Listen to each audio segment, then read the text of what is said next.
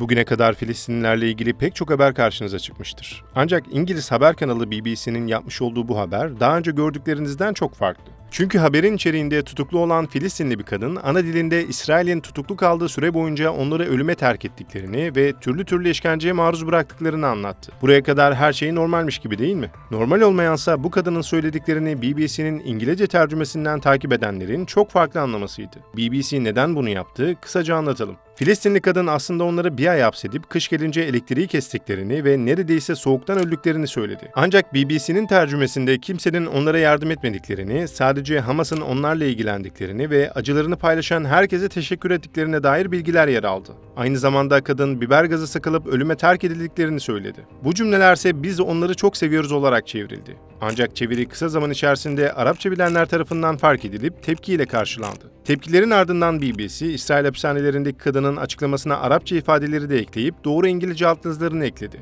Hatta kadının konuşmasındaki daha önce yayınlamadığı bölümleri de yayınlama kararı aldı. Ne var ki bu korkunç yanlış çeviri vakası yalnızca bir dil hatasından ibaret değil. Aynı zamanda Batı medyasının savaşın alevlerini körükleyen ırkçı bir tutum. Kasıtlı olsun ya da olmasın bu tür yanlış çeviriler Gazze'de Filistinlilere yönelik devam eden soykırımı daha da kötüleştirmekten başka bir işe yaramıyor.